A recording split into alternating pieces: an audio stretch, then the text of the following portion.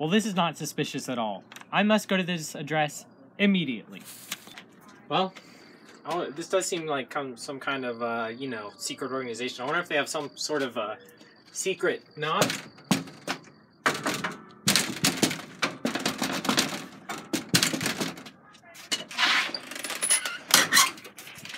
Come on in.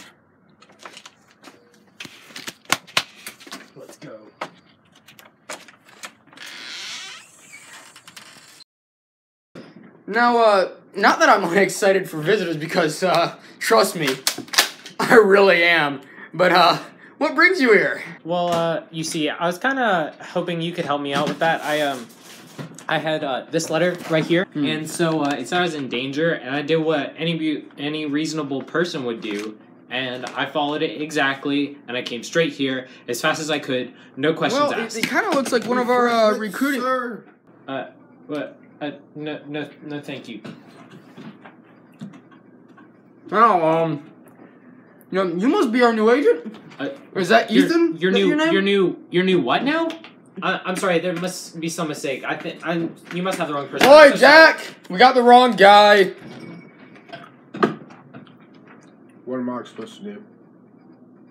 Well, maybe you should have spent less time preparing snacks and would have done your job. Get out of here.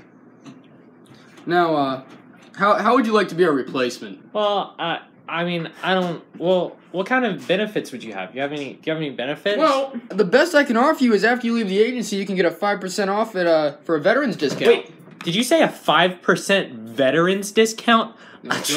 Whoa, whoa! I've always wanted a veterans discount. Oh, you should have let off with that. Uh, count me in. Okay, well then. Here's your uniform. Good to have you on the team. Thank you, sir. Thank you.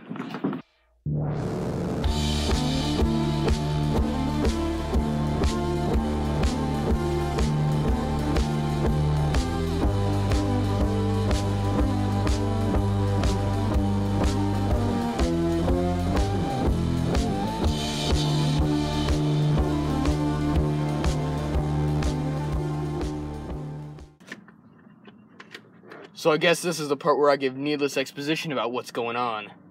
I mean, I guess I've never been on a stakeout, but if that's what you guys do, then go for it. Well, me, I'm the director of acronym, but you can call me Oscar. Our goal is to take down Pessimist Pete. His last sighting was around this area. Wait, Pessimist Pete? That's what we're going for? I thought he was a good guy. A good guy. Pessimist Pete is a poison on our society. now, now me, I'm a positive guy. But that Pessimist Pete is one Debbie Downer. I don't know, Debbie Downer. That seems a little bit harsh, even for Pete. Harsh? Have you not seen what he's done?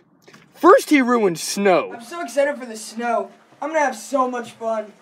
Why do you want to play in the snow? Then he ruined freaking vending machines, dude. Vending machines. Why do you want to use a vending machine? Then after that he ruined slumber parties. Why do you want to have a sleepover? I can't go to another slumber party again without thinking of all those horrors. That's what you think. I mean, By the way, where's Jack? Jack, I, I don't. I haven't seen him. Wow. Just ignore it. We'll get back to this stakeout. Oh, okay. There he is. Let's go. Let's get him, boys.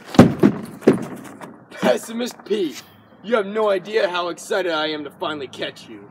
You really don't know, do you? What? I gave him that letter so that I could recruit him. He's been mine all along. No way. Wait. I don't.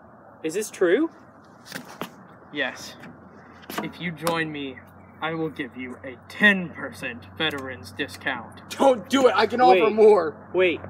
Did you say 10%? That's right, my young Padawan. I'm sorry, Oscar. This is this is just too good of an offer. I was so optimistic about you. Now you've joined in?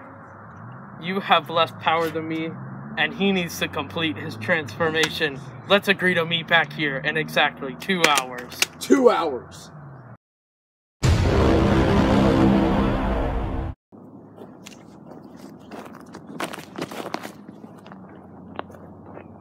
This is the part of the script that requires an overly long action scene. Ugh.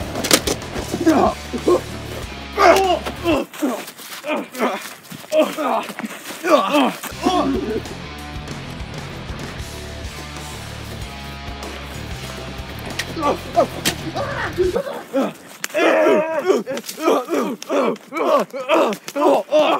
Ow! My wrist! Dude, my wrist!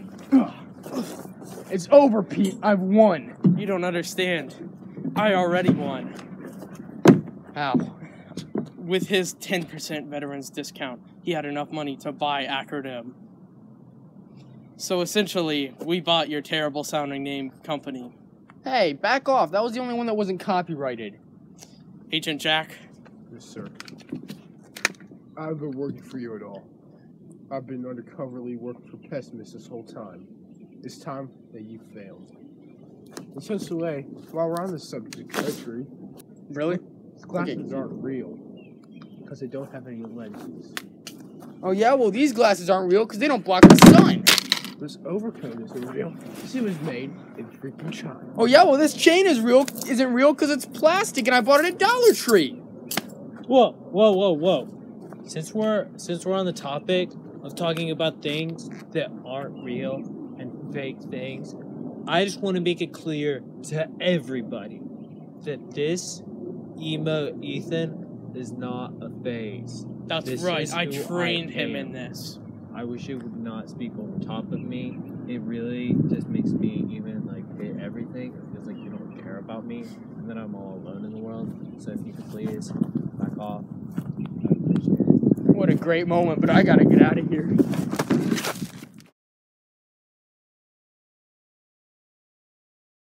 I quickly left after that, and they didn't follow me.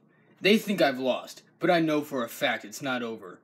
Probably never gonna end because of all the bad sequels this is gonna get. It's time for Pessimist Pete to meet his arch nemesis, the Optimist Man.